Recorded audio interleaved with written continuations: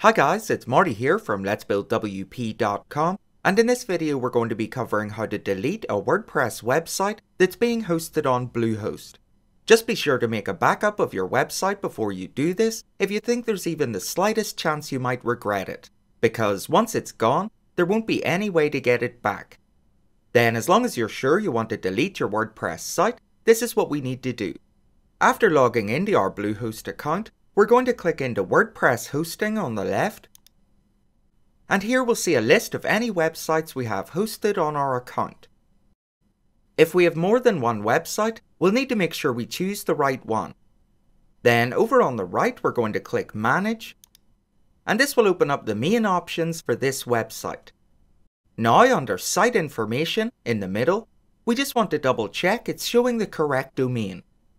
Then as long as this is the website we want to delete, above this on the right, we can click into Settings, then scroll down to the bottom of this page and click Delete Site on the right.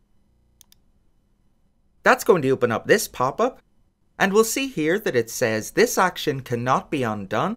By deleting the website you will remove all content, backups and database information. So basically it's going to be completely deleted. Then as long as we agree to this, we just need to type our domain name as it appears in red into this box underneath, and then click delete. And once our website's been deleted, we'll be brought back to this page. Then if we want to install WordPress again, we just need to click Add Site on the right. Make sure Install WordPress is selected on this screen, and click Continue and Bluehost will guide us through the rest of the steps. So that's us now at the end, and that was how to delete a WordPress website on Bluehost. Please give the video a like here on YouTube if you find it helpful, and consider subscribing to the channel for more Bluehost and WordPress tutorials in future.